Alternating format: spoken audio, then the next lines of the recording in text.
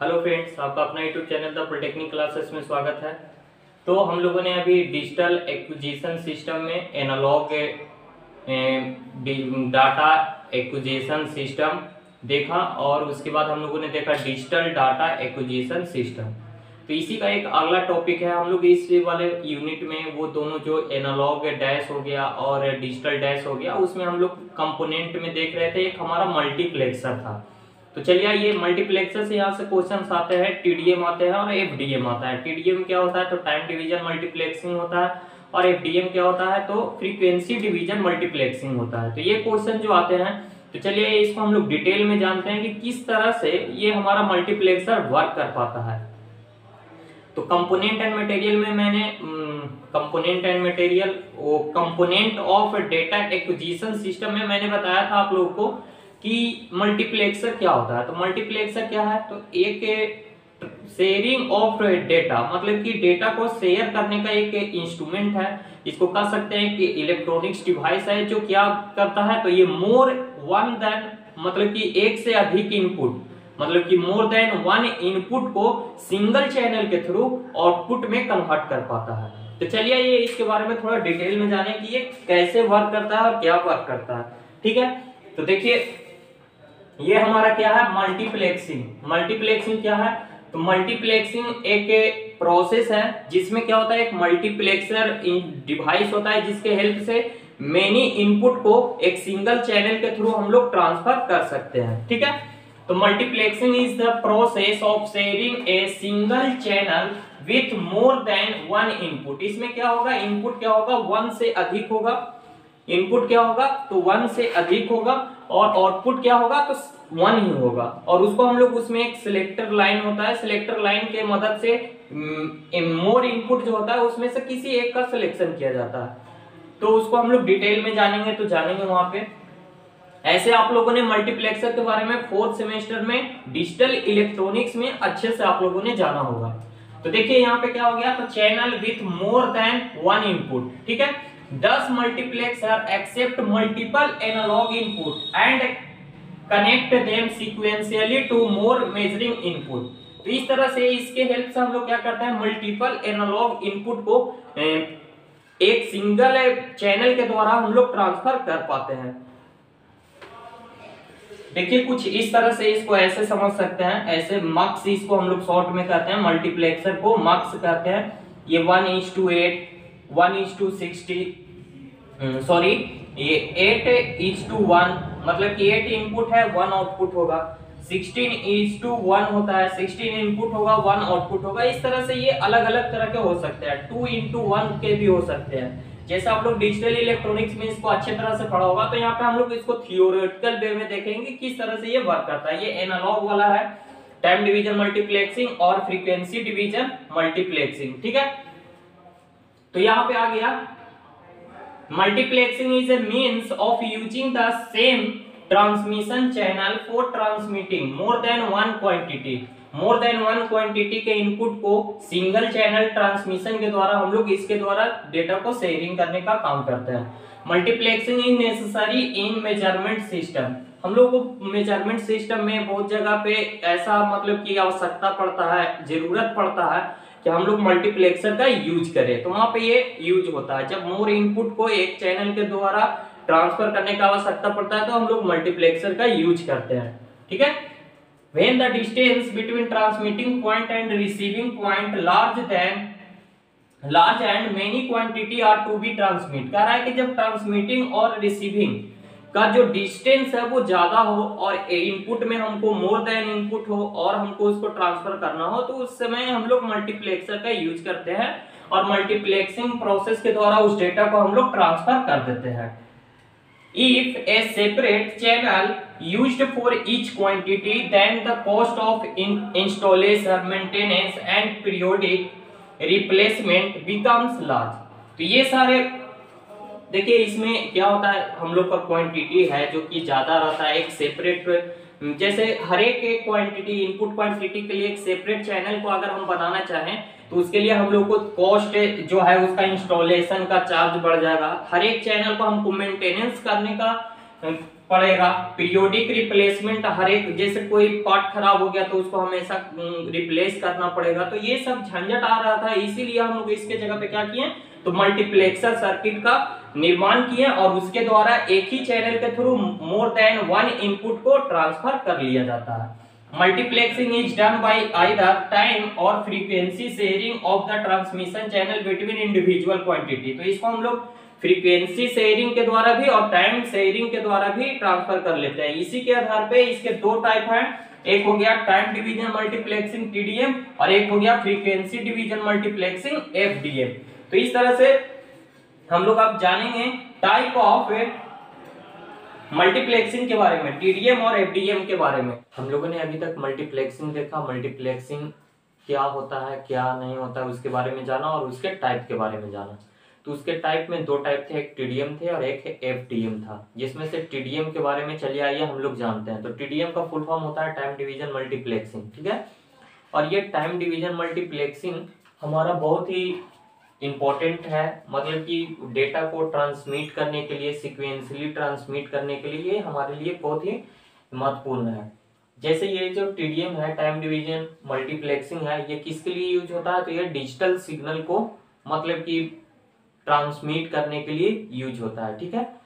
तो ये digital signal के लिए ट्रांसमिट करने में यूज़ होता है। और ये जो हमारा प्रोसेस है मतलब एनालॉग सिग्नल से डिजिटल सिग्नल में कन्वर्ट करने का जो प्रोसेस है, वो हम लोग फोर्थ सेमेस्टर बेसिक कम्युनिकेशन में आप लोगों ने पढ़ा होगा सैम्पलिंग थ्योरम के बारे में। तो उस सैम्पलिंग थ्योरम में मैंने बताया था कि किस तरह से एनालॉग सिग्नल को डिस्क्रीट टाइप सिग्नल में कन्वर्ट किया जाता है। डिस्क्रीट कहने का मतलब पल्स के टाइप में उसको किस तरह से कन्वर्ट किया जाता है।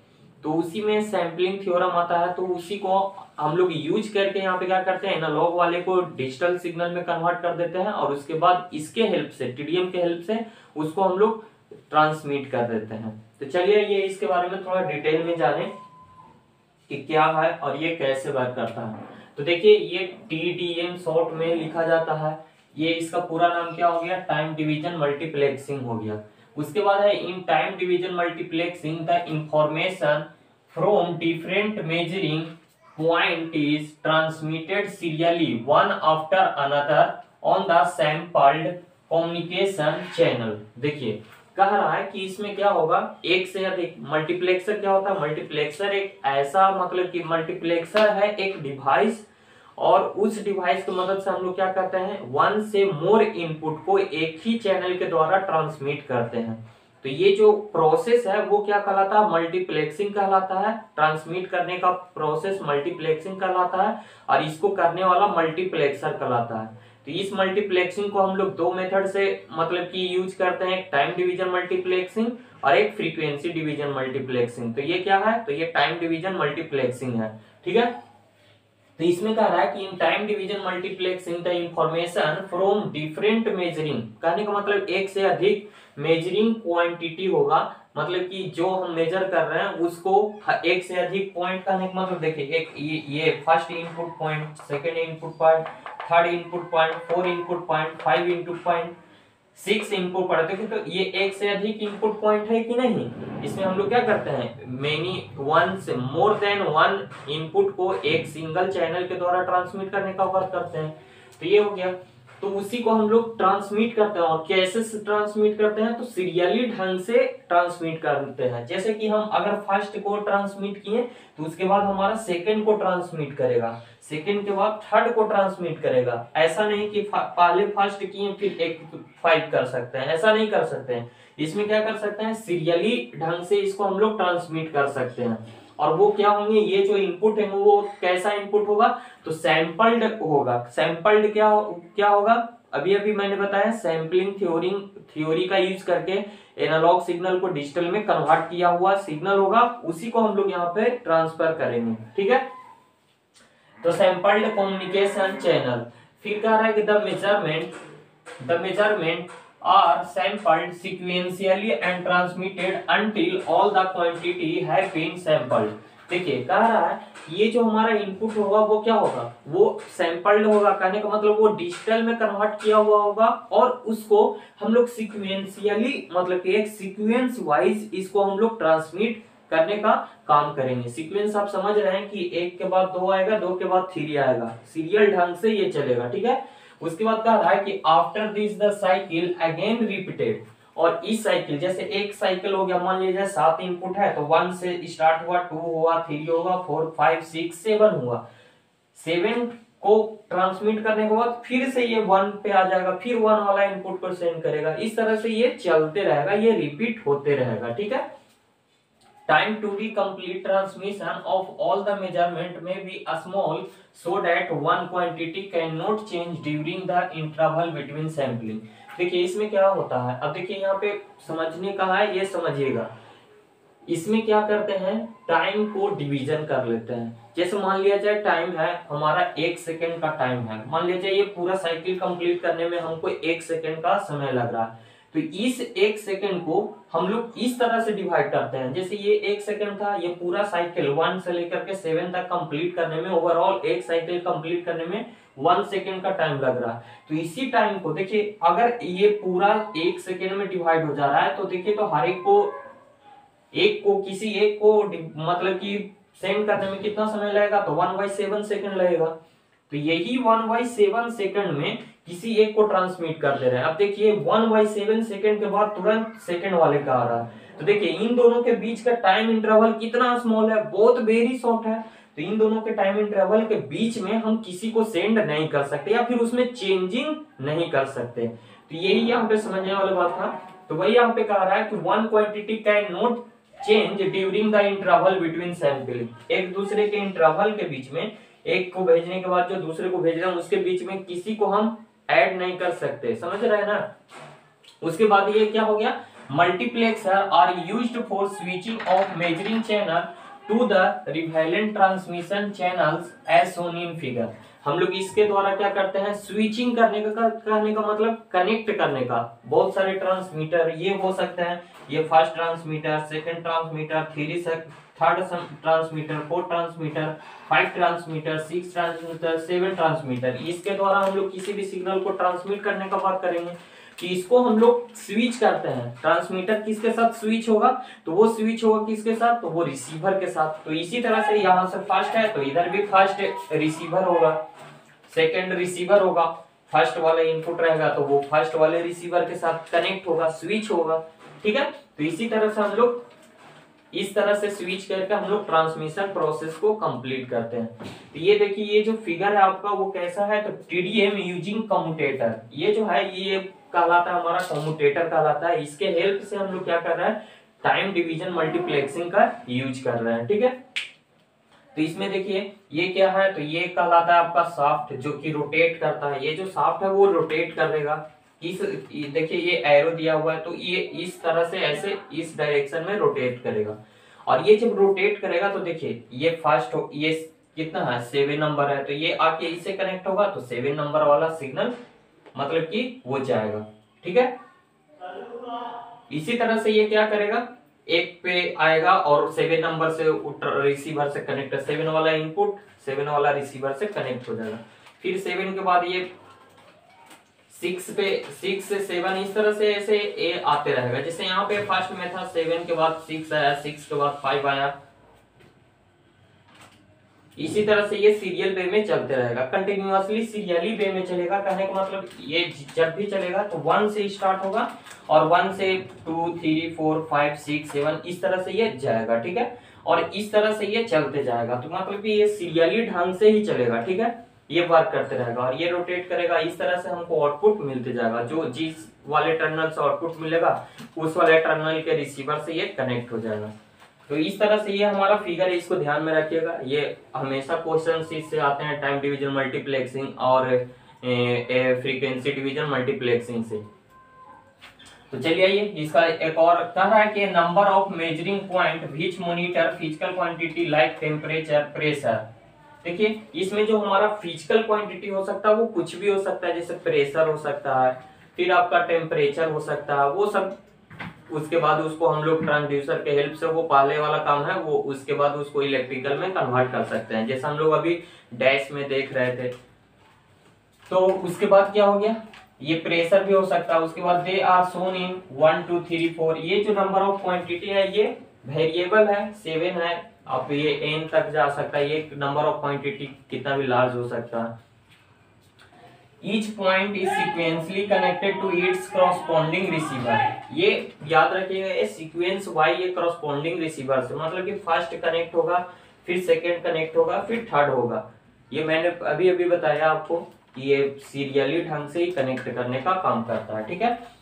The system connected transmitter one to receiver one system transmitter ये ट्रांसमीटर अगर इसको हम ट्रांसमीटर के केस में ले तो ये ट्रांसमीटर वन है तो ये किससे कनेक्ट होगा? तो रिसीवर वन से कनेक्ट होगा। ये ट्रांसमीटर टू है तो ये रिसीवर टू से कनेक्ट होगा। ये वाला ट्रांसमीटर रिसीवर वाला फिगर आपको एफडीएम में अभी अभी मैं बताऊँगा तो उसमें आपको ये क्लियर हो जाएगा कि किस तरह से एक दूसरे से कनेक्ट हो रहा। ठीक है?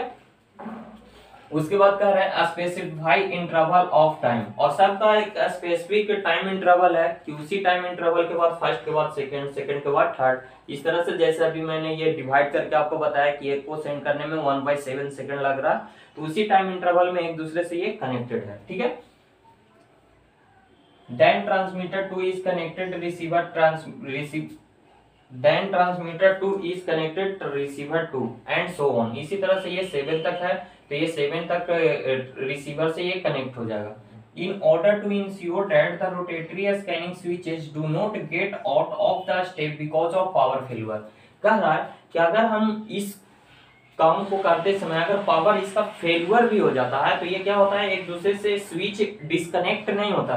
अगर ये फ़र्स्ट को ट्रांसमिट कर रहा है उसी समय पावर फेलियर हो जाता है तो ये सेकेंड वाले को भी ट्रांसमिट करने का, ये मतलब ये रोटेशन करने का वर्क वो चलते रहता है, ठीक है?